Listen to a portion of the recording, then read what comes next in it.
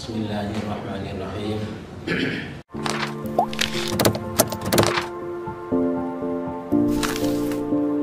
Bismillahirrahmanirrahim.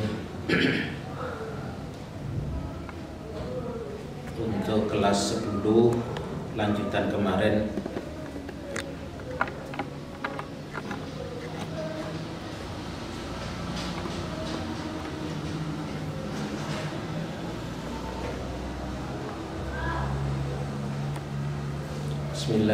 Bismillahirrahmanirrahim Huwallazi anzala 'alaikal kitaba minhu ayatun muhkamatun hunna ummul kitabi wa ukhur mutasyabihat فأما الذين في قلوبهم مرض زيغوا فيتبعون ما تشابه منه ابتغاء الفتنة وابتغاء تأويله وما يعلم تأويله إلا الله والراسخون في العلم يقولون آمنا به كل من عند ربنا وما يذكر إلا أولو الألباب ربنا لا تزغ قلوبنا بعد إذ هديتنا وهب لنا من لدنك رحمة إنك أنت الوهاب ربنا إنك جامع الناس ليوم لا ريب فيه إن الله لا يخلف الميعاد صدق الله العظيم بسم الله الرحمن الرحيم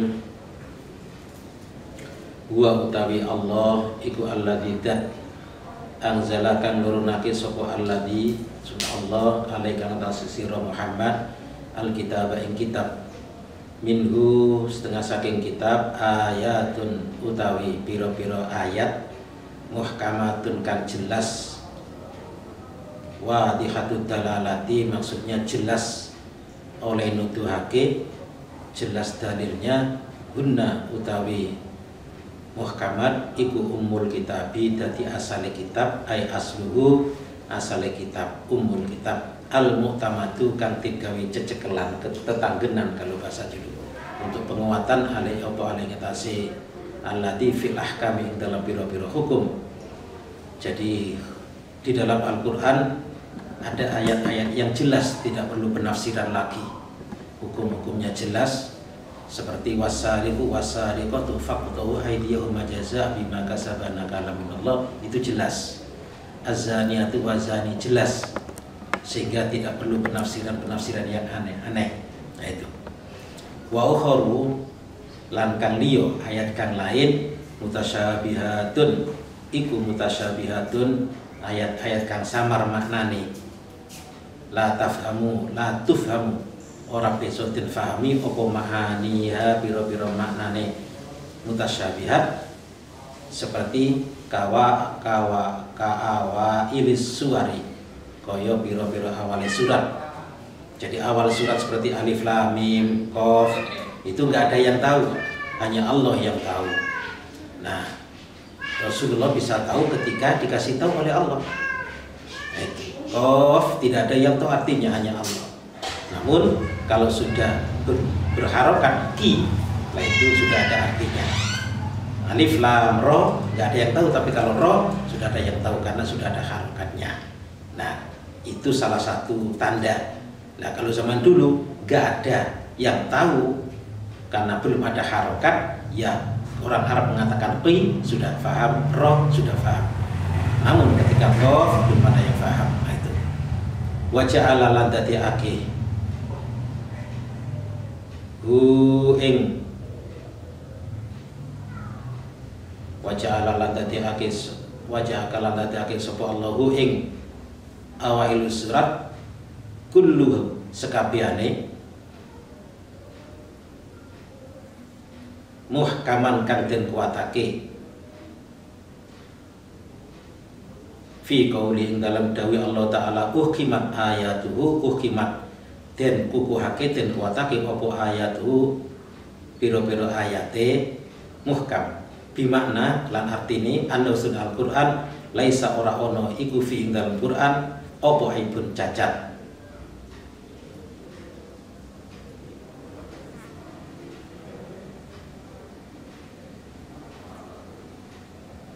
Jadi jelas itu. Wa mutasyabihan lan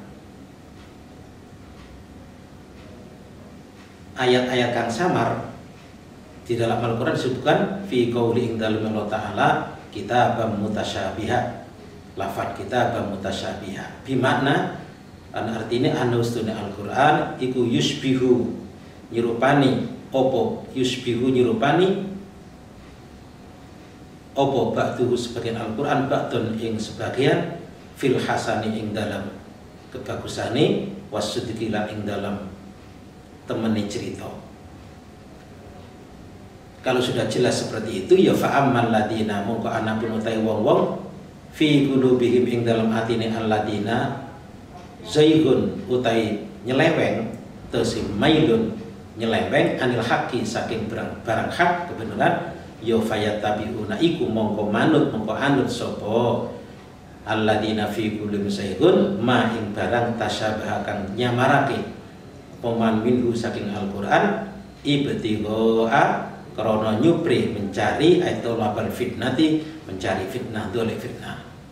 Oleh ngono mau li juhalihim krono budune alladina fi qulubi zaygun biwukuhim kelawan tumibane kelawan tumibane alladina fi qulubihim fi syubhati ing dalam piro-piro barang kang samar wal lubsi lan samari makna. Wa batigha takwili amri golek takwili Al-Qur'an. Tegesi tafsiri tafsir Al-Qur'an. Wa ma ya'lamu lan ora bakal ngerti apa sapa wa ma ya'lamu lan ora bakal ngerti takwilahu ing takwil Al-Qur'an. Tegesi tafsirahu tafsir Al-Qur'an sapa illallah kejaba Allah. Wahdahu khali awadi Allah. Warosihuna utawi wong kang padha mantep. Tegese asabituna wong kang padha tepi al mutamakkinuna tegese wong kang tepi. Jadi orang sudah mantep sekali profesi benar ar-rosih fil ilmi ing dalam ilmu mubtadaun. Iku mubtadaun mubtadae khabiru khabaruhu utawi khabare mubtada iku yakuluna. Warrosikuna jadi mubtada yakuluna jadi khobar iku yakuluna podo ngucap sopo arrosikuna amanna iman kita bihi kelawan ma tasyabaha ay bil mutasyabihi kelawan ayat-ayat mutasyabih annahu setuhune mutasyabih iku min indillahi saking Allah. Wala na'lamu lan ora ngerti ingsun maknahu ing maknane mutasyabih kullun utai sekabiane. Jadi orang yang sudah mantap imannya maka itu dikembalikan kepada Allah. Sudah cukup semua yang tidak faham itu atau yang maknanya adalah ada makna lain. Makna itu adalah semua dikembalikan kepada Allah. Nah, itu. Kenapa? Ya Al-Quran itu kalamullah. Sudah. Ketika kita tidak ngerti Ya karena kita tidak dikasih ngerti oleh Allah. Sudah. Jadi tidak mereka-reka. Kulun utai sekabiane Minal muhkami Saking ayat-ayat kang jelas Muhkam Wal mutasyabihi Minal mutasyabihi. Ayat-ayat kang samar Iku min indi robina Saking pangeran kita. Wa ma yadzakaru lan ora lan orang ngalap pitutur itu gua minta kelawan itu gua minta.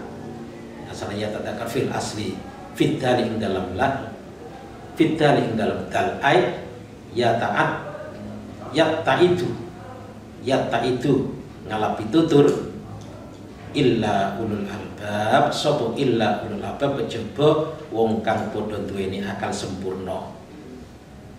Jadi dikembalikan kepada Allah semua dan Allah akan memberikan itu kepada orang-orang yang memang sempurna akalnya akan dikasih tahu oleh Allah. Tegese ashabul ukuli wong kang duweni akal kang sempurna. Wa yaquluna lan padha ngucap sapa? Wa yaquluna padha ngucap sapa? Ulul al ulul albab aidun khalimale idza ra'au. Nalikane padha weruh sapa warasikuna atau ulul albab itu. Man ing wong yatab kang manut sapa man hu ing. Yattabi'una kang manut sapa manhu ing mutasyabihat apa? Robbana la tuzigh Robbana do pengiran kita la tuzigh. Ampun nyelewengaken panjenengan kulubana ing ati kita tegese tamilu. Tamil la tumil. Itu la tumil. Ampun nyelewengaken panjenengan ha ing kulub anil haqqi saking kebenaran. Bibetigo wili amri tafsiri mutasabihat alladzi kan la yaliku ora patut apa takwil bina kelawan kita. Kama azabta kaya oleh nyelewengaken panjenengan kulu ulaika ing piro-piro atine alladzina yattabi'una syahwat. Jadi mohon orang-orang yang warosihuna itu mohon kepada Allah Rabbana la tuzigh qulubana ba'da idh hadaitana wa hab lana min ladunka rahmah innaka antal wahhab doa ini dibacakan ketika orang-orang yang arrosih orang-orang yang punya akal yang sempurna mohon supaya tidak diselewengkan hatinya kepada Allah seperti mereka. Ba'da idh hadaita yang dalam nalikane maringi pitedah panjenengan nah ing kita. Tegese ba'da arsyad tanah sausi nuduhaken panjenengan nah ing kita ilahi maling ilahi maring barang kang hak. Wahab lan mugi paring panjenengan lana maring kita miladun saking ngersa panjenengan. Min indika saking ngersa panjenengan paring rahmatan ing rahmatan tegete tasbitan ketetapan atau den tetepaken iman iki inna kasuni panjenengan anta ya utai panjenengan iku al wahabu kan paring ya robbana do pengiran kita inna kasuni panjenengan iku jami'un nasi dat kan ngumpulake menungso tegese tajma'u tegese ngumpulake panjenengan hum ing nas liyaumin ing dani yaumin ing dalam dino ai fi yaumin ing dalam dino la riba ora ana kemamangan iku maujid tegese la syakka ora ana kemamangan fi ing dalam yaum huwa utawi yaum iku yaumul kiamat yaumul dino kiamat. Fatu jazihim mongko malas panjenengan him ing nas bi amalihim lawan amalin nas. Kama wa'atta kama kaya oleh keterangan wa'atta kan janji panjenengan. Jadi dikak lawan ngono-ngono males Innallaha satuhuni utawi Allah iku la yukhlifu. Ora bakal nulayani sapa Allah al mi'ada ing janji mau idahu tegese janjine Allah bil ba'si kelawan nakehake fihi ing dalam yaumul qiyamah da titik iltifatu anil khitabi iltifatu utawi eh, anggit utawa iltifatu utawi berpindah Maksudnya apa? Anil khitabi saking kejadian ini nah. Iltifatu itu noleh kena. Anil khitabi saking kejadian ini jadi khitab. Rabbana la kulubana itu wayah tamilulan memper-memper. Ayakuna yang ono. Opo? Dawu Rabbana la kulubana apa ayakune yang ono apa Dungo Rabbana la tusiku lubana iku min kalamillah min kalami ta'ala saking dawi Allah ta'ala wal ghardu utai sejatine utai tujuane minat doa saking dungo. Bidzalika kalau mengkono mengkono madkur Rabbana la tusiku lubana iku bayanun keterangan. Anna hammahum setuhune sejane nas iku amrul akhirati perkara akhirat. Walidzalika lan para mengkono-mengkono. Madkur donga niku au salu padha nyuwun sapa sahabat as-sabata ing ketetepan anil hidayati saking hidayat. Liana lu supaya mendapatkan sapa sahabat sawabah ing ganjarane. Donga niku wau. Rawa meriwayatkan sopo asyaikhoni Bukhari Muslim an Aisyah saking Sayyidah Aisyah radhiyallahu taala anhu. Qala matur sapa Aisyah dawuh sapa Aisyah matur sapa Aisyah. Talah mos talah moco sapa Rasulullah sallallahu alaihi wasallam hadil ayata ing iki ayat huwa alladzi anzala alaikal kitaba min ayatun muhkamatun ila akhirih huwa huwa utawi dat alladzi kan anzala nurunaken sapa alladzi alaihi ngatasé sira alkitab kitab minhu setengah saking kitab ayatun utawi ayat-ayat muhkamatun kang jelas ila akhiriha wa qala lan dawuh sapa kanjeng Nabi fa idza ra'aita mongko nalikane ningali sapa sira alladzina ing wong-wong yattabiuna kan padha manut sapa alladzina ma ing barang tasyabah kan serupa kan nyamar min saking kitab fa ulaika mongko utai wong-wong iku mau iku alladzina wong sama kang ngarani. Sapa Allahu Allah? Ya fakdaru mongko ngedohono sapa sira hum ing alladzina yattabi'una. Warawalan meriwayatkan sapa atau beroni Imam Tibrani fil kabir ing dalam kitab kabir an Musa saking Nabi Musa al Asy'ari annahu setune kelakuan. Sami'a midanget ngrungu sapa an Nabi kan? Sami'a.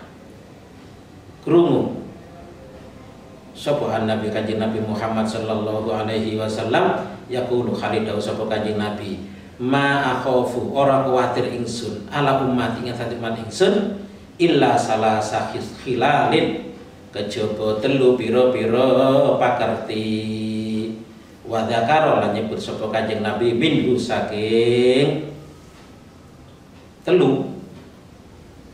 An yuftaha yen dibuka lahum kedua umat alkitab opo alkitab kitab.